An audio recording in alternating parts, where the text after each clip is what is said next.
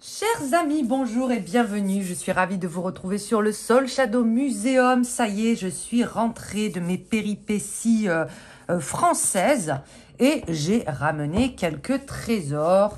Euh, vous m'avez vu passer pas mal de temps avec Nicolas Salon des Arcanes et au Salon des Arcanes. Et du coup, bah, j'ai dégoté quelques pépites là-bas. On m'en a aussi offert. Je vais d'ailleurs commencer tout de suite par un jeu très très intéressant qu'on m'a offert. Audrey, si tu passes par là, je t'en remercie. Euh, c'est un jeu que je euh, regardais, lorgnais depuis un moment, qui me faisait de l'œil. C'est l'Oracle de Marseille, de Lucie et Raphaël. Euh, et c'est un coup de cœur, parce qu'en fait, vous l'aurez compris, c'est un oracle illustré à la façon d'un Marseille.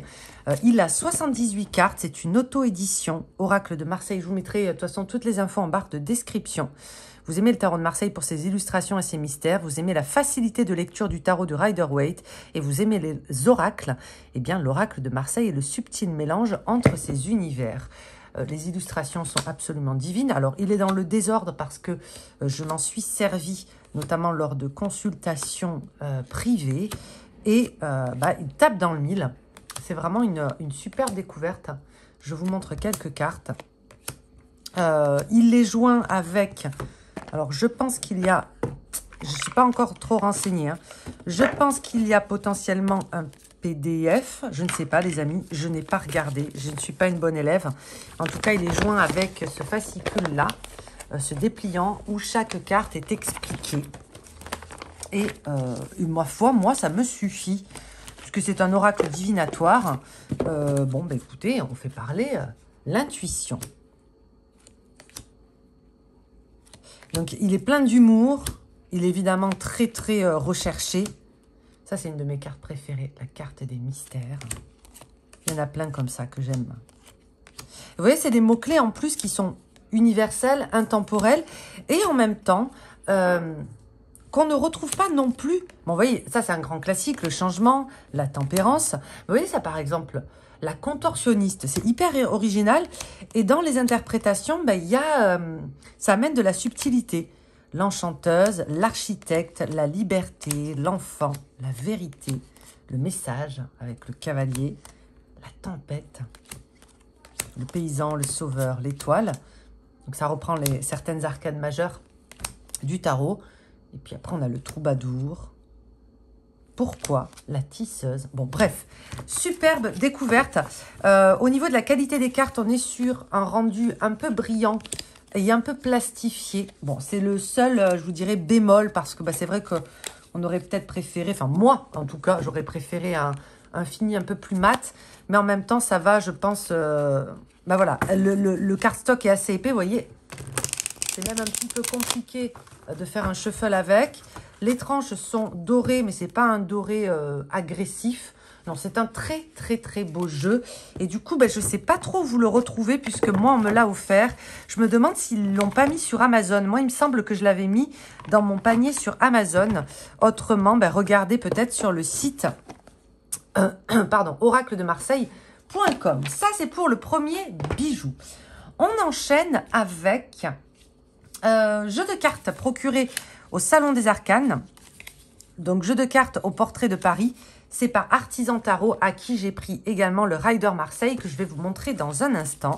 Artisan Tarot, je pense que maintenant j'ai la collection complète. Je vous ferai une vidéo si vous le souhaitez euh, sur tous les jeux Artisan Tarot euh, qui sont euh, des, très très beaux jeux.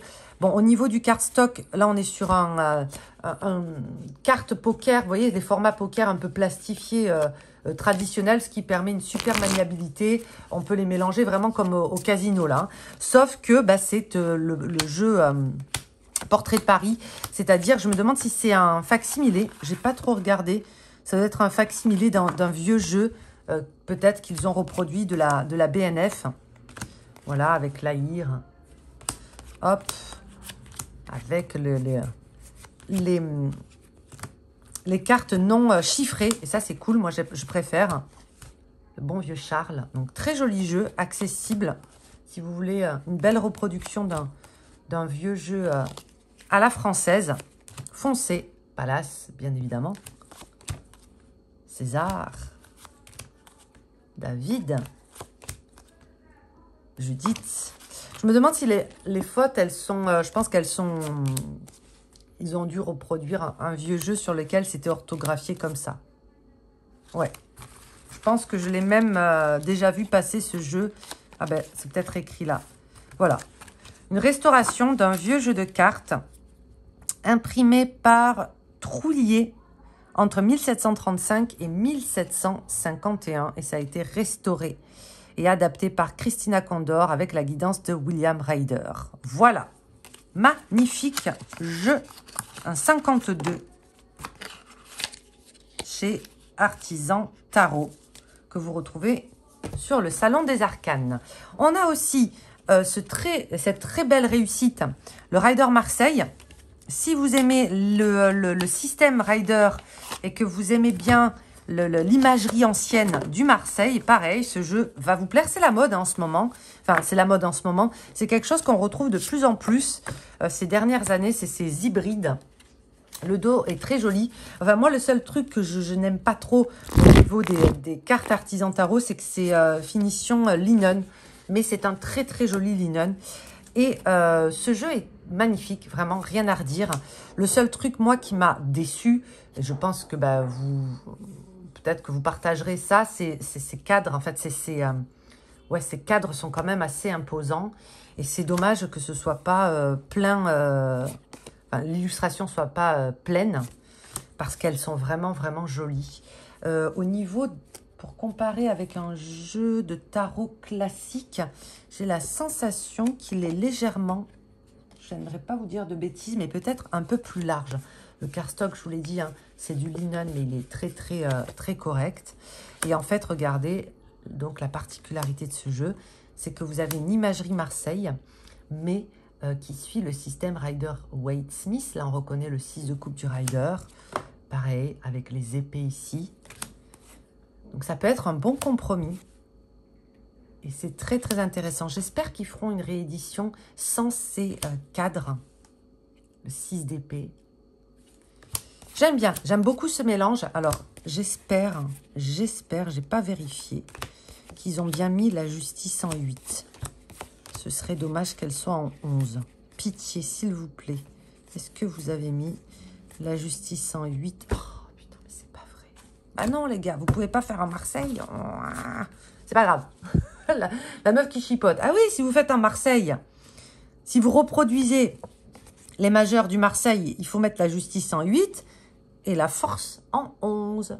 Mais comme il s'appelle le Rider Marseille, bon, bref.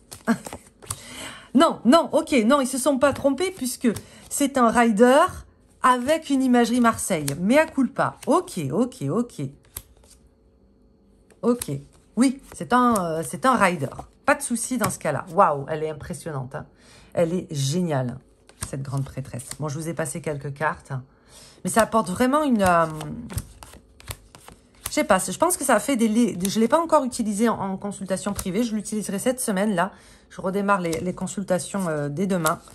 Euh, je suis complète pour le mois de mars, au cas où vous vous demanderiez. Euh, et je vais l'utiliser dès demain. Je pense que ça va faire des choses très intéressantes. Puisque moi, je suis férue du tarot de Marseille avant tout. Donc voilà, premier amour mélangé au rider. Dispo sur le salon des arcanes. Alors, celui-là, gros coup de cœur pour le Granny's Postcards Tarot. Parce que ce jeu, il est, commence à, enfin, j'allais dire, il commence à dater. Il est que de 2022. Mais j'ai l'impression que ça fait une éternité que je le mettais dans mon panier sur Etsy, chez Nico, etc. Et au final, je le prenais jamais. Et alors, euh, il a été, donc c'est un jeu imprimé par Pentagram Publishing de Mikola Taradashko, euh, fabriqué en Ukraine. Comme son nom l'indique, il reproduit l'ambiance vintage des vieilles cartes postales de nos grands-mères. Et ce jeu, euh, je m'en suis servi exclusivement lors de ma semaine, des quelques jours que j'ai passé à tirer les cartes euh, au, Salon des Arcanes en tête à tête. Et toutes les personnes avec qui je l'ai utilisé ont adoré ce jeu. Je, je, je, parle en leur nom, mais parce que ben voilà, elles me l'ont dit, euh, il est super. Et les, enfin, les, tirages sont super. Donc, il arrive avec ce petit guidebook en anglais et en... C'est du russe Ah, je voudrais pas dire de bêtises. Voilà. Euh, j'adore le cardstock. C'est un des cardstocks les plus intéressants qui été donné d'avoir dans les mains. Euh, il a un aspect, alors il ne plaira pas à tout le monde, hein, rugueux, comme les papiers à poncer. Vous voyez un petit peu? Bon, euh, c'est très doux, hein, mais c'est cette espèce de rugosité. Je ne sais pas si c'est ça le mot. Et alors, ben, il arrive dans le désordre. De toute façon, je m'en suis servi, j'ai beaucoup brassé les cartes. Voici le dos. Les cartes sont un tout petit peu plus petites qu'un tarot classique, ce qui n'est pas peut-être pour nous déplaire. Et chaque carte a une ambiance euh, très vintage. C'est un sniper. Ce jeu est un sniper. Je le trouve d'une pertinence. Euh, enfin, les représentations sont très très bien choisies. Elles cassent avec ce qu'on peut voir d'habitude. voyez Donc elles sont originales, bien pensées, bien conçues, bien trouvées et elles permettent d'avoir des lectures. Vous voyez, un hiérophante comme ça, on ne le voit pas tous les jours. Hein.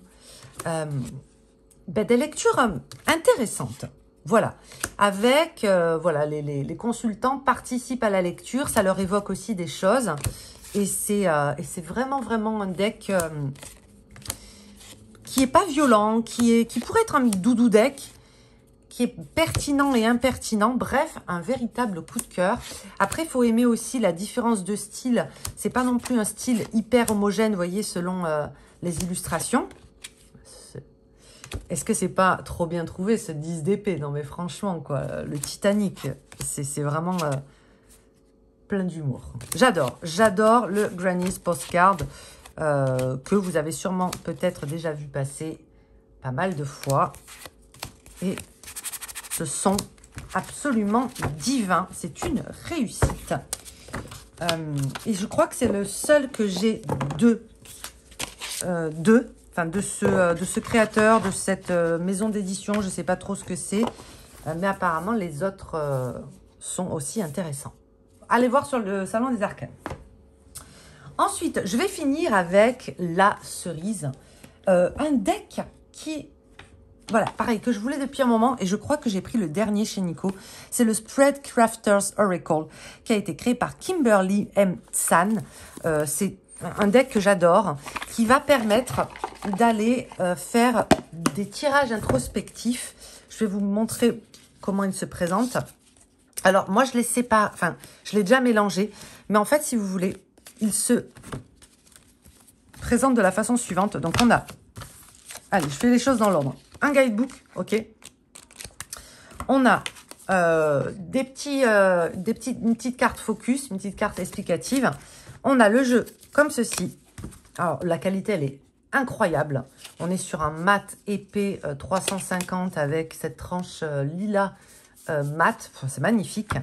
Et en fait, vous voyez, il y a plusieurs couleurs. Donc, en fait, vous pouvez l'utiliser en travaillant avec plusieurs tas. C'est-à-dire que, par exemple, on va avoir les cartes qui vont parler ici de shadow work. Vous voyez, bon, après, c'est en anglais. Hein. Les cartes qui vont vous parler de vous, de quelque chose sur lequel euh, vous pouvez travailler en ce moment. Par exemple, le challenge. Les cartes qui vont euh, vous parler du focus. Vous voyez, là, ici, on va être sur un travail un peu plus ancestral. Les cartes qui vont vous parler du succès, de vos limites, de où mettre des limites peut-être. Euh, sur le travail plutôt de lumière, sur le travail de l'ombre. Vous voyez, hop, sur le, travail d'expansion, etc. Donc, en fait, vous pouvez constituer comme ça tout un tas de, spreads, d'étalement pour inviter à la réflexion, pour tirer des cartes. Je vais vous donner un exemple très rapide, comme ça peut-être vous allez comprendre. Si on les mélange, je vais l'utiliser sur ma chaîne principale. Ok, je vous ferai un tirage à trois choix, ce que je travaille et libère en ce moment. Vous voyez, donc on tire trois cartes, par exemple on les tourne. Donc, ça va nous parler ici du shadow work, de la propension qu'on a euh, à se positionner peut-être en tant que victime. Hein Pourquoi est-ce que tu blâmes le monde pour les choses qui t'arrivent, etc. Ensuite, le travail d'expansion qui va nous parler de se transcender et le travail ici sur le comportement, comment tu exprimes euh, tes sentiments, tes émotions à travers ton action, ta parole, etc. Puis après, on peut tirer des cartes par-dessus et ça nous constitue comme ça un tirage euh, introspectif complet, profond.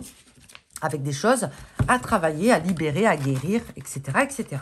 Donc super pour le travail de l'ombre, le travail introspectif. Et en fait, ça donne des idées. Ça donne des idées et ça, j'aime beaucoup, beaucoup, beaucoup. Il est très, très bien conçu ce jeu.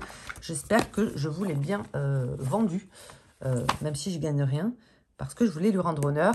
Euh, il date de 2021. Et voilà, voilà. Ok, un jeu qui m'a surprise. J'ai été surprise d'avoir un coup de cœur pour ce jeu. Parce que, esthétiquement parlant, si vous connaissez un petit peu mes goûts, ce n'est pas vraiment dans mon éventail euh, de jeux. J'ai découvert Tarot TK Studio. Ce jeu s'appelle le Elemental Wisdom Tarot. Il date de 2020. Il a été créé par... Alors là, je ne vais pas le dire parce que je vais euh, massacrer les noms. Ok, donc je vous laisse voir ici. Lucas, Grace, Jana. Voilà, bon. Et en fait, j'ai eu un coup de cœur pour... Euh, il m'a un petit peu... C'est un jeu hypnotique. Voilà, pour moi, c'est un jeu hypnotique. Qualité des cartes irréprochable. On est sur un très très joli mat. Euh, la même qualité que le Spread Crafter. Peut-être un tout petit peu plus souffle, souple. pardon.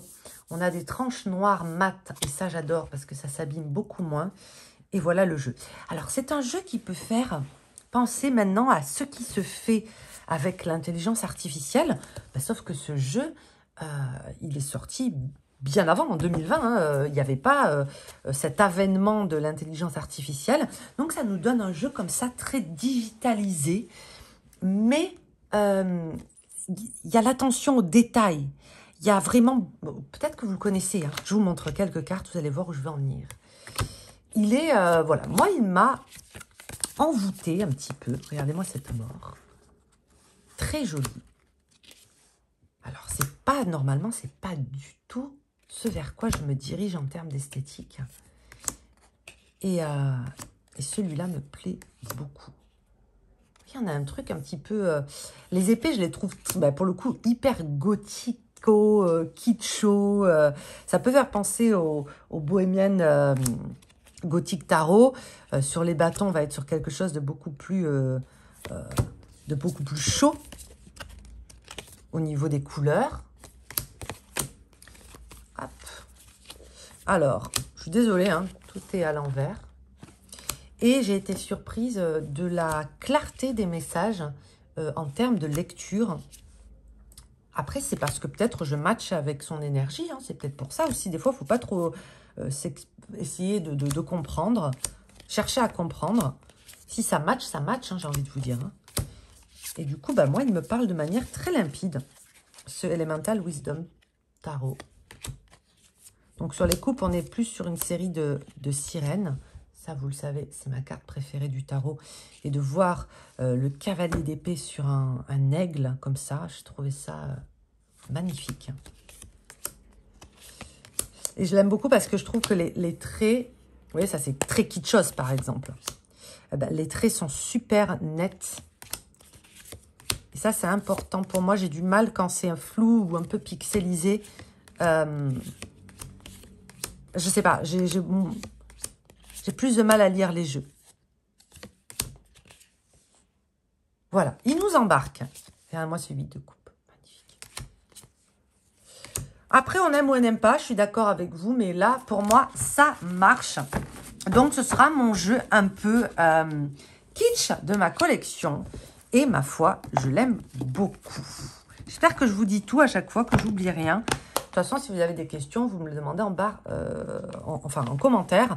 Et celui-là aussi, je l'ai trouvé au Salon des Arcanes. Et on va terminer avec euh, un ovni je remercie Nicolas euh, pour ce jeu et de m'avoir fait découvrir ce jeu, le Smoke Ash and Embers. Alors, j'avais déjà vu passer l'autre, hein, vous voyez, euh, je pense que j'ai oublié le nom, mais vous voyez le, duquel je parlais.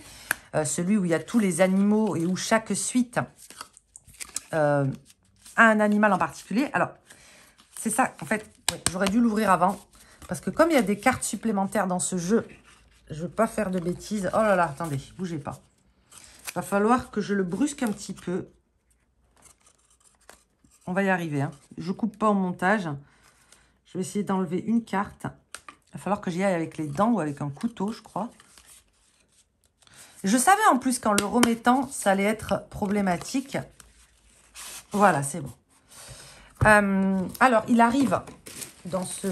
Pareil, je l'ai eu sur le Salon des Arcanes. Joli papier avec tout un tas de goodies, tous plus beaux les uns que les autres. Ce jeu est sorti en 2022. Il a été créé par Stéphanie Burroughs et illustré par Adam Oilers. Euh, et là, on est vraiment dans, pour moi, pour moi, le plus beau jeu qui a été fait en termes de dragon, en termes de magie draconique. Si c'est un univers qui vous intéresse, en plus, on est entré dans l'année du dragon euh, hein, au niveau de, l'astrologie chinoise.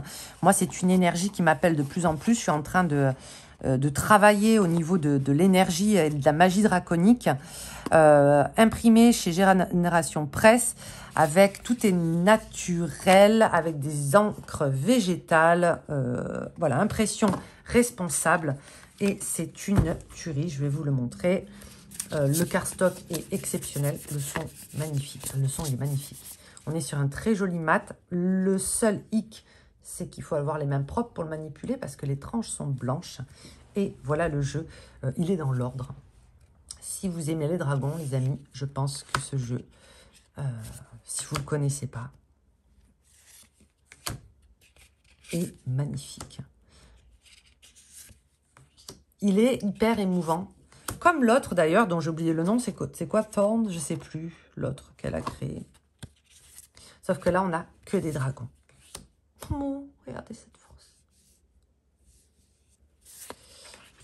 Et je le trouve, alors après, je vous donne que mon ressenti personnel. Euh, d'ailleurs, il me semble qu'elle le dit dans les... Il ou elle l'écrivent dans les pages de... dans les cartes de présentation. Que justement, euh, ils ont travaillé avec cette énergie draconique, donc euh, en lien avec les dragons, et qu'ils les perçoivent de façon très euh, animiste. C'est-à-dire qu'il y a un côté très... L'esprit des dragons occupe ce tarot. Donc, ils ont vraiment fait une place avec tout un tas de, croyances autour de, des dragons.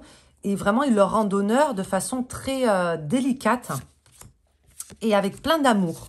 C'est pas un énième jeu sur les dragons, même s'il n'y en a pas non plus euh, des mille et des cents. Euh, c'est un jeu conçu autour de cette énergie-là, où chaque dragon, on voit, euh, on le voit prendre vie, etc., etc. Donc, il y a beaucoup d'amour pour ces créatures. Et moi, c'est un jeu comme ça que je cherchais justement pour me familiariser avec cette énergie qui m'appelle depuis ces dernières années. Ben, regardez, je crois que c'est là d'ailleurs, les cartes supplémentaires. Juste une petite... Non, non, non, non. Ah non. C'est pas là. Bougez pas. Donc, il y a des mots-clés également, vous voyez. Voilà. Donc, je ne sais pas euh, si vous ne le voyez pas en ligne euh, sur le Salon des Arcanes. Alors, je ne sais pas. C'est peut-être qu'il va le mettre en ligne. Vous lui demanderez au pire, en... ou si, si tu passes, Nico, tu peux nous le dire. Qu'en est-il? Regardez mon cavalier d'épée qui fonce tête baissée. Ah, j'adore. Il est incroyable. Série des bâtons. Je vous les passe un peu vite. Hein. Et si vous voulez que je vous fasse un petit compte-rendu, une fois que je me serai bien imprégnée du jeu, de l'esprit du jeu, euh, ce sera avec plaisir. Et puis une carte supplémentaire. Et j'ai oublié de vous montrer le dos de deck. Pas réversible, mais euh, moi je m'en fiche personnellement. Alors du coup je vais peut-être pas remettre ces cartes-là. Voilà. Comme ça, je vais les garder. Et voilà les amis, j'en ai terminé. Ah, attendez, je vais peut-être vous montrer une dernière merveille que j'ai reçue. Hop là. Ça, je vais le mettre dans mon journal Justement, je vais le mettre. Je vais vous montrer une merveille que j'ai reçue. Voilà. Une, artiste, une artisane euh, ukrainienne d'ailleurs aussi, qui m'a concocté cette beauté. Regardez-moi ça. Hop. Je vous mettrai sa référence, euh, son, sa boutique Etsy, si vous voulez, en barre de description. Euh, c'est une œuvre d'art qu'elle m'a fait. Elle a tout fait elle-même. Ça a pris beaucoup de temps parce qu'en fait, ben, elle fait elle-même les papiers, elle fait elle-même, elle coud elle-même, enfin tout. Euh, là, c'est un gros boulot parce qu'il y a beaucoup de pages. C'est un spirit book. Euh, c'est un, un notebook. Attendez, il y a là qui... Ça va, mon, ça va, mon chien. Ça va, mon chéri.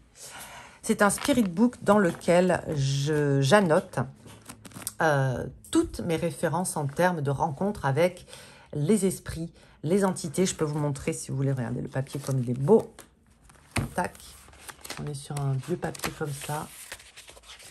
Et donc, euh, ce spirit book euh, va me permettre de consigner tout ce que, toutes mes, études. Mais ça va être un petit peu, je sais pas comment on dit, l'équivalent d'un bestiaire euh, pour les esprits, euh, les entités. Bah, c'est du spirit work, quoi. Donc voilà, j'ai au moins euh, cette pépite. Vous voyez, même c'est moi qui lui ai demandé tout. Elle me demandait quelle couleur je voulais, quel titre je voulais? Je lui ai dit mes spirit work. Elle m'a mis ces magnifiques marque-pages là. Je sais pas comment on dit. Vous voyez, avec ces, ces breloques. Voilà. Donc ça, c'est ma mon bijou. Et je suis trop contente d'avoir un bijou comme ça, euh, consacré. Vous savez, moi, je suis pas très euh, journaling, etc. Mais c'est vrai que euh, j'écris énormément en termes de, de spiritisme. tous mes contacts défense sont consignés. voilà, parce que ben, j'aime beaucoup, ben, j'aime beaucoup ça, quoi. Donc là, ça sera vraiment le cahier qui va leur faire honneur et j'espère qu'au final, ben, on aura une très très belle collection de euh, d'entités, d'esprits, etc. Et pourquoi pas y joindre hop, les dragons. Il y aura certainement tout un chapitre sur les dragons que je rencontrerai ici ou ailleurs lors de mes explorations.